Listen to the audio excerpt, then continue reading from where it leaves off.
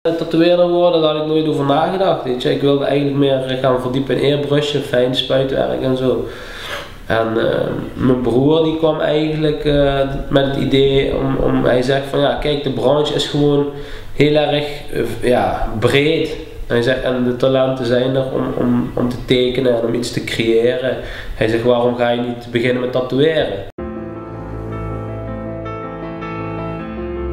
Mijn broer die was iemand die zag ja, gewoon potentie.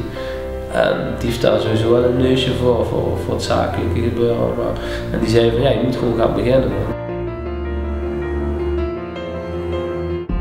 Uh, ja, de eerste klant was ik zelf. Heb ik uh, iets van 10 uurtjes of zo gestoken. Daarom vind ik het ook altijd leuk om een, om een te tekenen, of überhaupt gewoon een vis. Het is een vis, het is de sterkste vis van de rivier, weet je wel.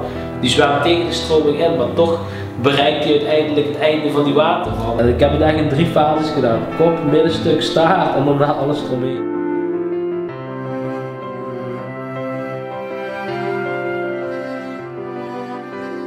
We zijn open gegaan in juli 2012.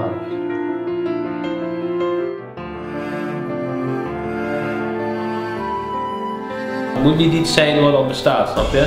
Het moet iets zijn waar ja, wat vernieuwend is, wat toch iets ja, ook over jezelf kan vertellen. Want ja, het verhaal is niet alleen voor, voor de mensen die het krijgen, maar ook voor, de mensen, ja, voor degene die het gaat zetten, weet je wel.